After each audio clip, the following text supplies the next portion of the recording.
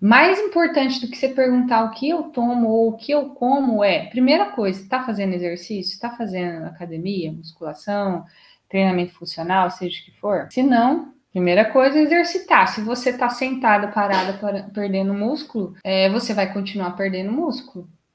E músculo é uma necessidade do corpo humano, não é estética, é uma necessidade. Quem tem menos músculo adoece mais, quem tem menos músculo vive menos, quem tem menos músculo fica mais doente, fica com menor imunidade, vai perdendo qualidade de vida, independência.